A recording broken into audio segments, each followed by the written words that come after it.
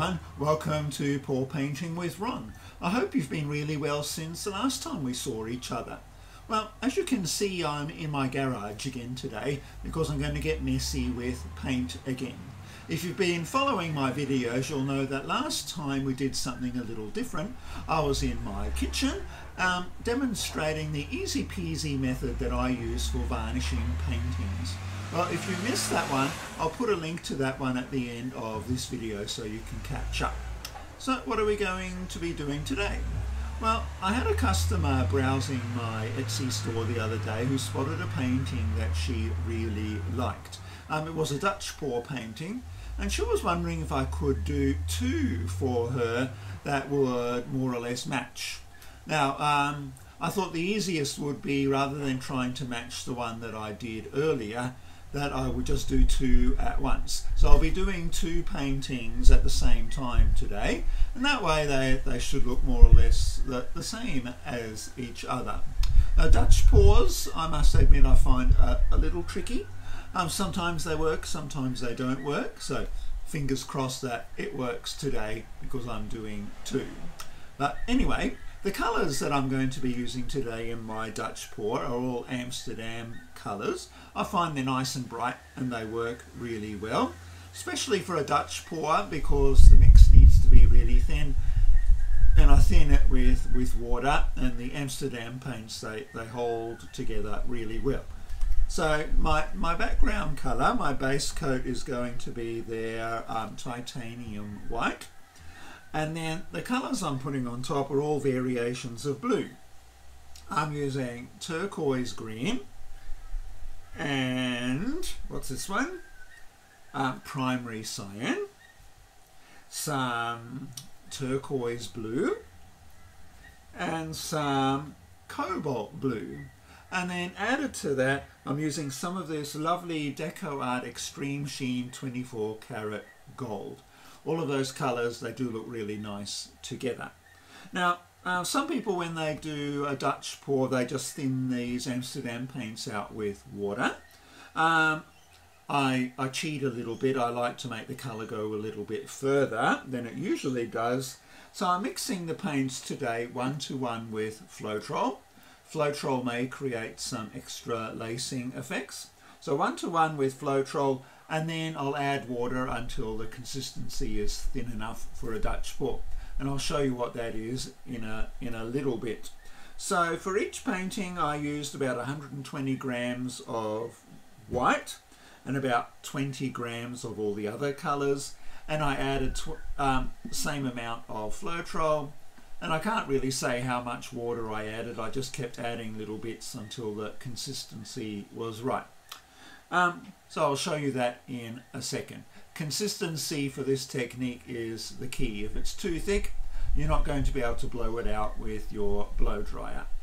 All right, let's get started.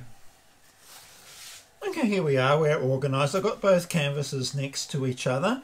Um, I can't show you both of them, but yeah, they'll, I'll do the same thing to both. At the end, I'll show you how this other one on this side turned out, but I'll do them both at the same time. Now, I'm using today this 30 centimeter by 60 centimeter thin edged canvas.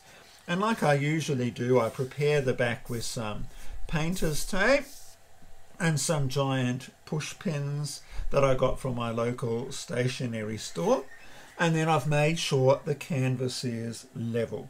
It's really important that your canvases are level, otherwise your design, while it's drying, will move. You don't want your design to move. Right, so my, my table is level. And then I've got one of these little levelers here that I just put around the sides to make sure everything is right. Now if the table is level, I normally don't need to do anything to the canvases, they're always level. But if they're a little bit off, I can just pull these push pins in and out a little bit to get the, the level exactly right. Now also a tip for when buying canvases, sometimes they're a little bit warped. Um, so I always lay them on the floor in the art shop.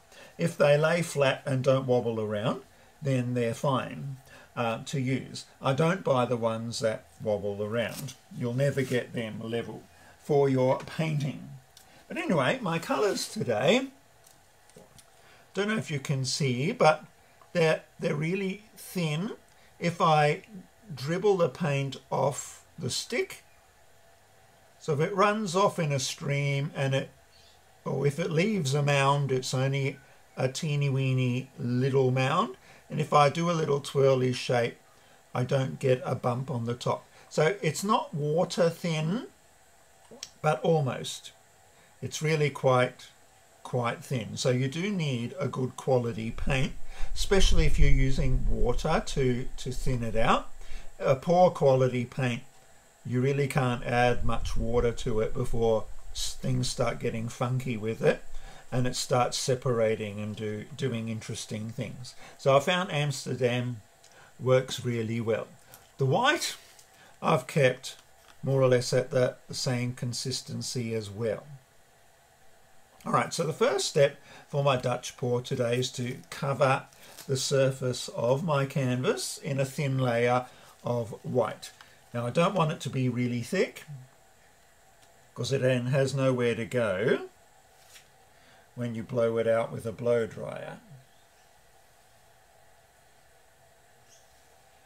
Right, so I just spread it out over the canvas like so. I'll just keep a little bit in case there's an accident. And then I'll just spread it a bit with my palette knife. As you can see, it's really thin, but not, not water thin. Like so. Now some people will blow it out with a blow dryer. I like to tilt mine.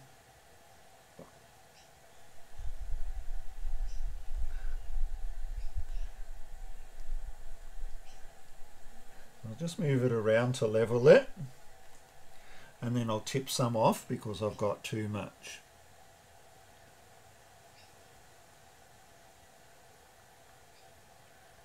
So I said I don't want a thick layer.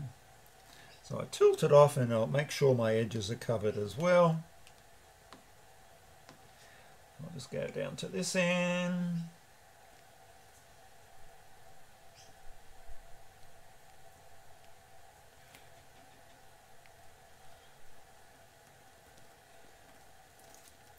back down to this end.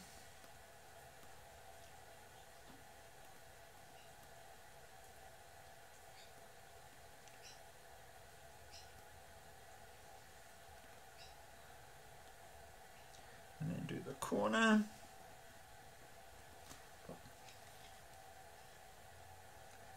Just even out the paint again. Okay and then I'll go around and make sure I've covered everything if you can just pick up the paint with a finger off the puppy pad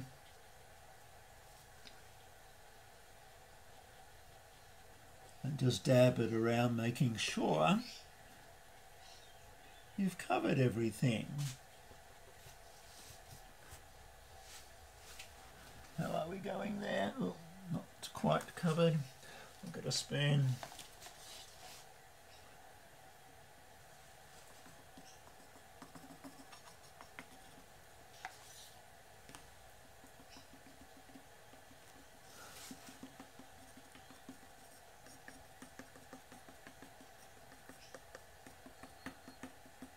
I think we're good, more or less.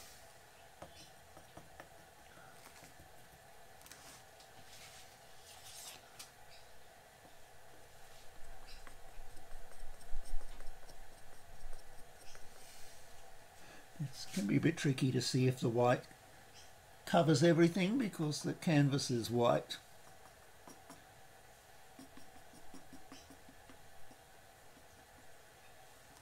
Uh, I think I'm good.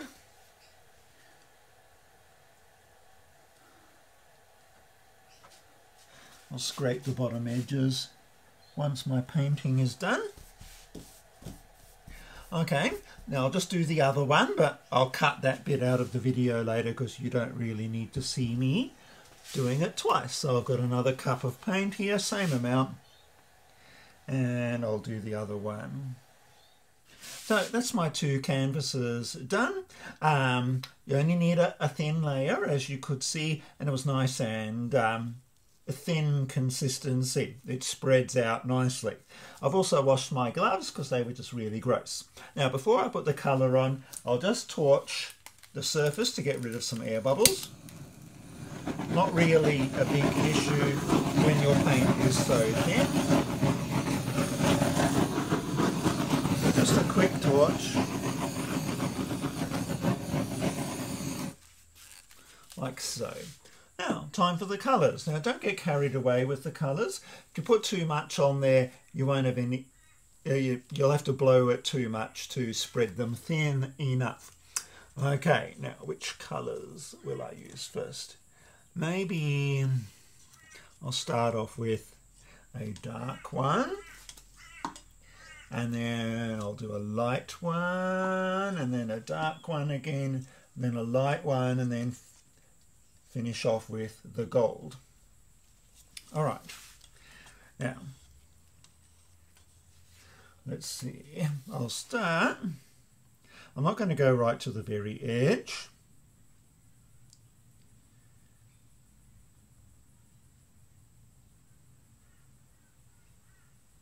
Like so. And I'll do a similar one here.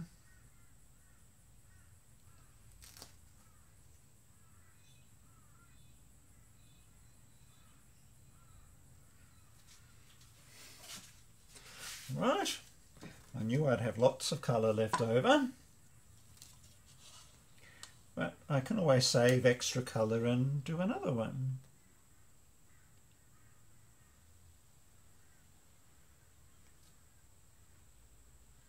like so. And again, on the other one, just a, a random squiggle.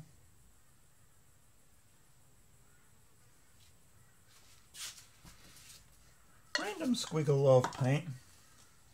That will hopefully look nice when I blow it out with the blow dryer.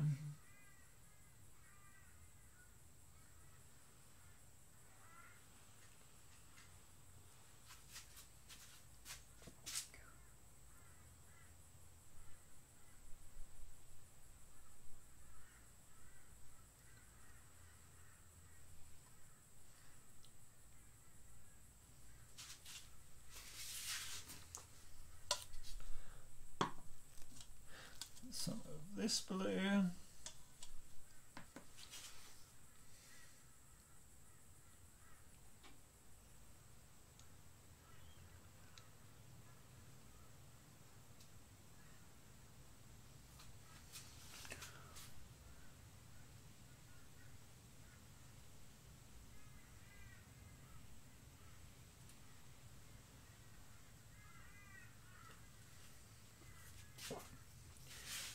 Okay, and then I'll do some of the gold.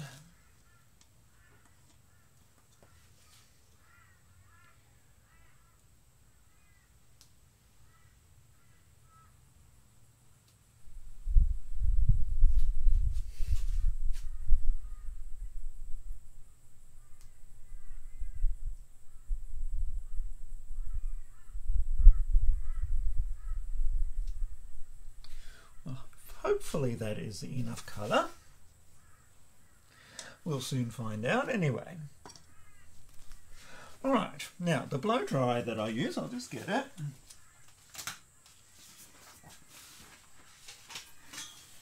It's just a cheap one I bought from Kmart. It's a VS Sassoon Pro Dry 2300. It's got one of these little um, intensifiers or things on there.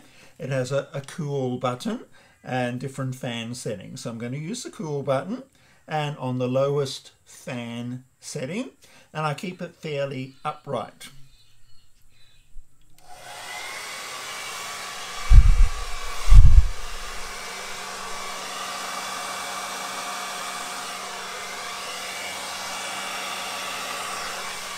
see, it hasn't really moved, so I'll do it a bit harder.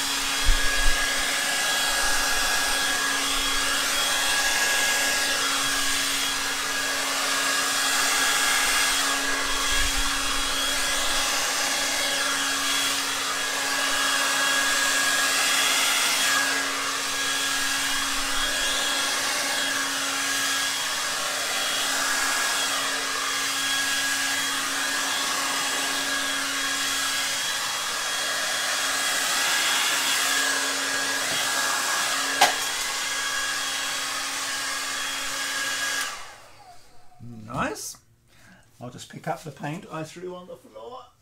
Oh. Right, now you don't want to over, over blow it because uh, the colours just get all muddy. Right, but I'm getting some nice lacing effects because of the Floetrol that I used and the metallics to some degree. Now I'll just do the other one.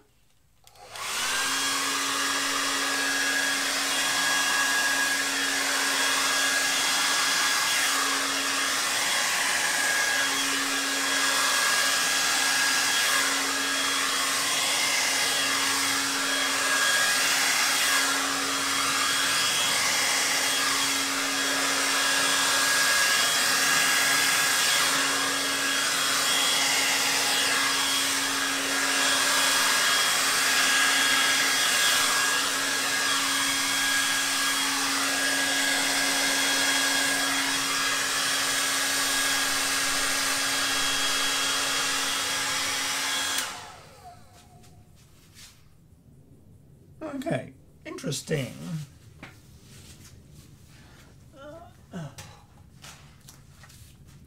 If you don't want as much lacing, don't use Floetrol, just use paint and water. Okay, now just look at the composition. Now if you want to change how it looks a bit, you can blow with your mouth or with a straw just to tidy up tidy up your edges a little bit. So let me let me see.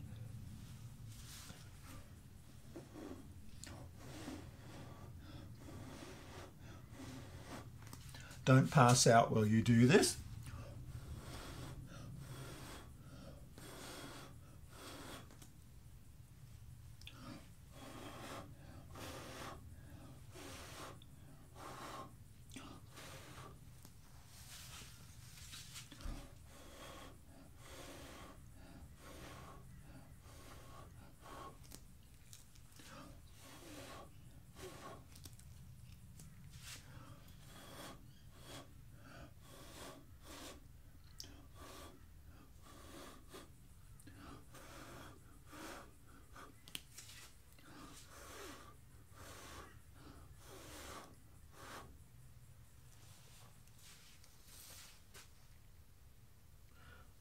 That's looking cool. I find if you use too much white, you get like big mounds of white and your colours pool together and it doesn't look nice.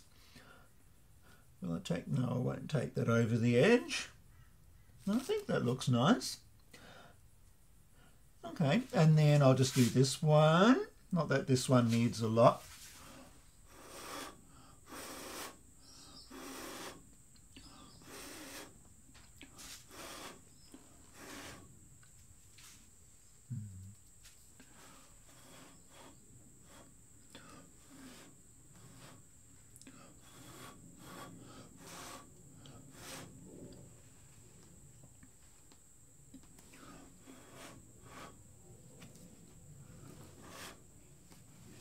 Sometimes I overdo it and then I just mess it up. No, but that's good. Now I'll just get my blowtorch and torch it just a little bit.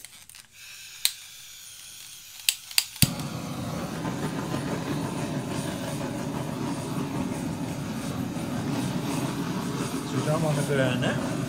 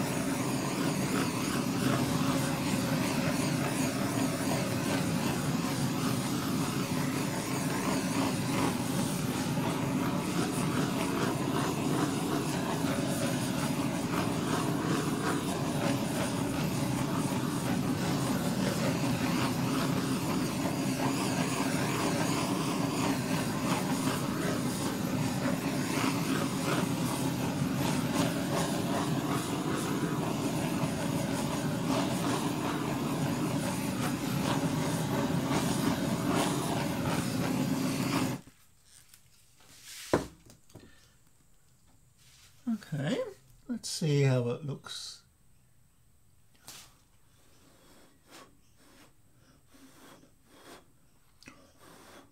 Mm.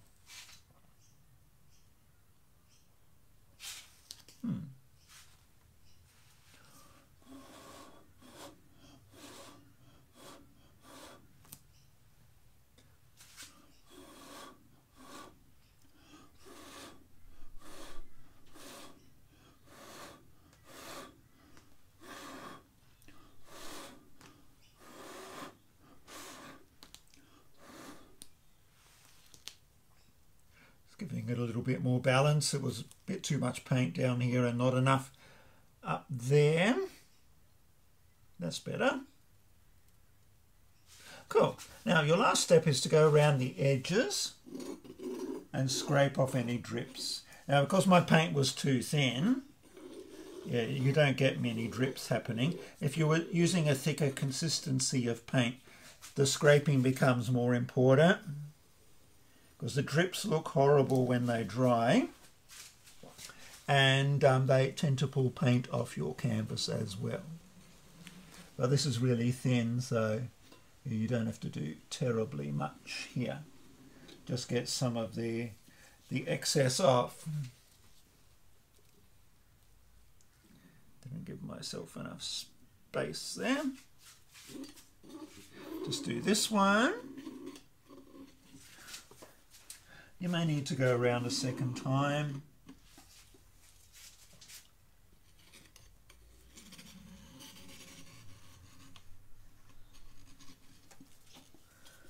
Just checking I've got everything covered. I do. It all goes flat when it dries. So don't worry if your painting's a bit bumpy. It tends to flatten out as it dries.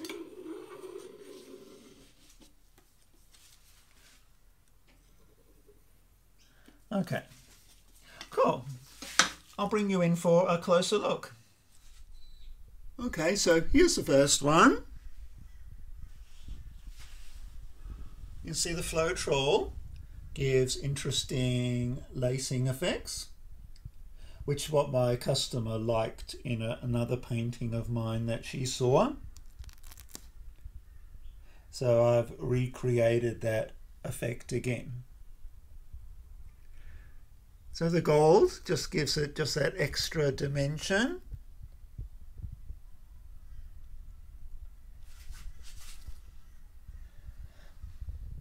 Now because I did both paintings at the same time, using the same paints, in the same order, they look very similar, as you can see in this one.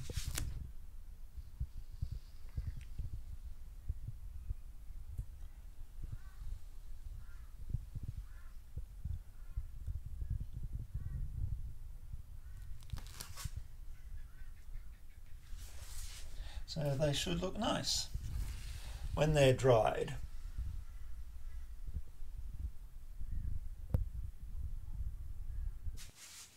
So what did you think? I think they turned out rather nice. They were what I was going for.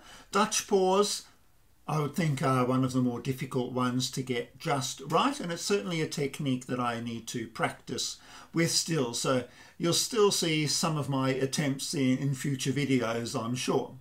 Um, but I think that the trick with these is to keep your paint thin. People who have shared failed pours before have all tended to have very thick paints that they weren't able to blow really well with the blow dryer. So make sure you have just enough on the canvas and that the consistency is thin enough to blow out properly with your blow dryer and then you should have some success.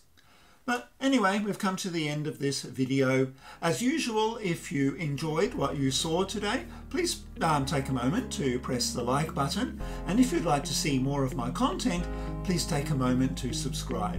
So I hope you have a great week ahead um, and I look forward to seeing you again next time. In the meantime, happy painting.